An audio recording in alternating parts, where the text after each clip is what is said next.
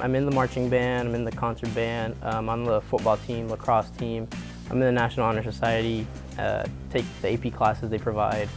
Oh, I'm in the jazz band now too. Balancing sports, um, music, and academics, I've just learned that everything is really about your desire and your want and really just how much you feel something is important to you. There's times when my friends would be like, hey, you want to come out and do something? like, I can't, I have schoolwork or I can't, you know, I have a game, I have this. So it's really just understanding what's important to you in life and understanding that there are times when you're going to have to sacrifice it, but understanding that those sacrifices in the long run are going to help you.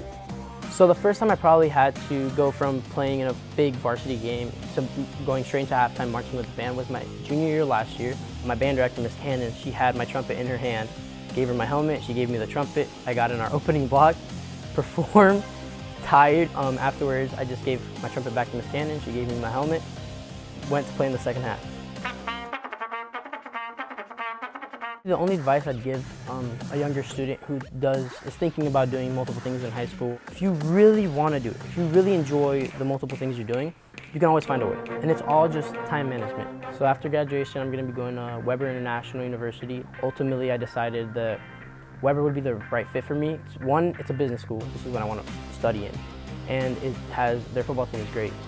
Another shout out is just to my family because they, honestly, they make it happen. Eight, nine years of my life, dating back to when I was doing Little League football, someone had to drive me around everywhere. I was not here, Miss Cannon. Um, actually, last year, I went through a tough time in my personal life, and my schoolwork was kind of starting to decay a little.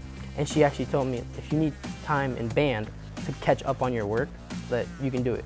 So I take three classes with Dr. Amman. I'm not gonna lie, I boasted. So I have friends at other schools that's like, my band director's up for a Grammy. And like uh, my entire family was like, did you know my band director's up for a Grammy? It was really well deserved. Some of the life lessons I've learned, if you really do believe that you can do something, you believe in yourself, just go for it. And whatever happens, happens.